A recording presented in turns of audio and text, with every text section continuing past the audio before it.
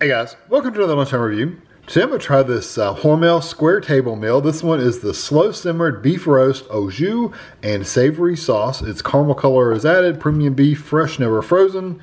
Um, 27 grams per serving of protein. Uh, BPA free tray. It's 15 ounces or 425 grams. It's a refrigerated meal. It's not frozen. It's refrigerated. We found it at Walmart. It was $7.54, but it's made to be an entree. Like you have it for dinner. Um, of course, I'm eating it for lunch, but it's made to be made for dinner. Oh, that's how they're that's how they're sold. So there are three servings per container, five ounces, uh, 140 grams is 210 calories. You eat the whole container for 640 calories. And there's the other info for you. So to make this, this is giving you some options of things you, just some things you might not have thought of. That that beef, that French dip sub looks really, really good. Um, all right, so you can heat up in the stove top, basically just put it in a pan and heat it up, or you can do it in the microwave, which is what we're gonna do. We're going to remove the outer sleeve and place the vacuum sealed tray in microwave. Do not pierce or vent because it'll bubble up really big. Um, heat on high for three to four minutes. I usually do three and a half or until the self-venting film um, expands and it heats and forms a bubble, lock in flavor. What happens is the bubble will get really big. It'll get really big and, and um, big old bubble and then it'll go and then it'll flatten out a little bit. It won't go away completely. It'll always have a bubble, but it, it'll kind of vent itself. So here's what it looks like. It looks pretty decent. So I'm going to get this in the microwave. Uh, when you take it out, just be careful because it is, uh, you get steam coming out of wherever it opened and it's really, really hot. So I'll be right back. All right, so here it is out of the microwave, and um, be careful taking this plastic piece off the top too, because you can see where it vented right there, but this is really stuck on and sealed well, which is a good thing, I guess, but it is just, you can really uh, spill things and, and make a mess if you're not really careful. So I'm gonna take this off and put it on a plate and with some of the juice. So let me move this out of the way. Okay, what I want to do is I want to pull it apart for you. See how tender it is. Oh yeah, it pulls literally right apart with a fork. You can see how tender that meat is. And then uh, I'll probably pour some of the juice on top just to have, um, just have it on my plate.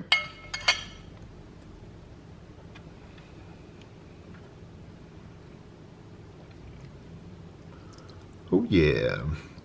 Yeah, that would make a really good French dip because you could take um, this and make a sandwich out of it and then take the juice and put it in a bowl or just leave it in here and dip your bread and your and your the sandwich into it. Um, that would be really, really good. So I am going to take this over the table and I'll be back. All right, so I didn't let it set. I literally just set the camera up. So here we go. Probably gonna be very hot.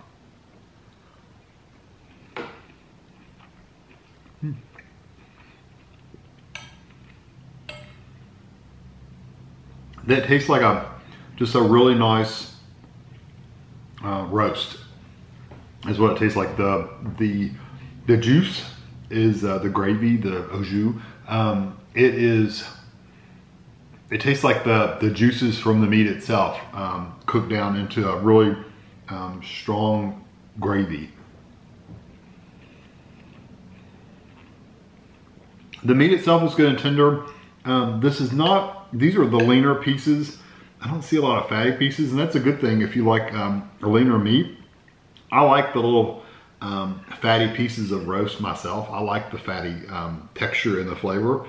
But um, if you don't like the fatty pieces, you're in good you're in, you're in good shape because there's no fatty pieces on here. It's all this really lean meat. I won't say lean. There's no hunks of fat in it.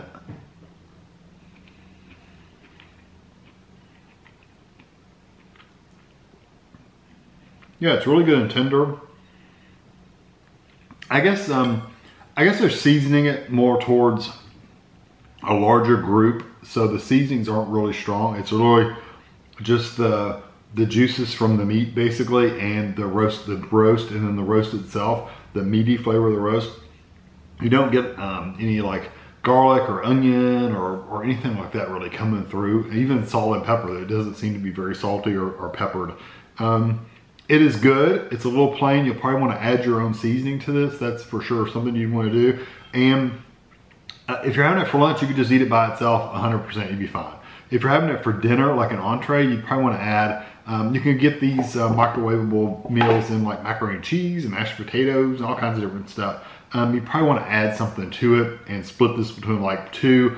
You could probably stretch it to three people. They're saying three servings. Three would be, each person would get a pretty small amount of roast. I mean, like literally probably that big around. Um, so you, three people are going to have a smaller amount, but if you have a side or a salad or something like that, um, that'd probably be enough. But just know um, for if you're eating like me, um, probably half of this and a side would be really good. So I'm going to give this one a three out of five. I don't dislike it. I just think they could have bumped the seasoning up a little more. Like I said, I think they're kind of um, seasoning for the masses, so to speak, and not really uh, putting a lot of seasoning in there because they could have definitely put some onion.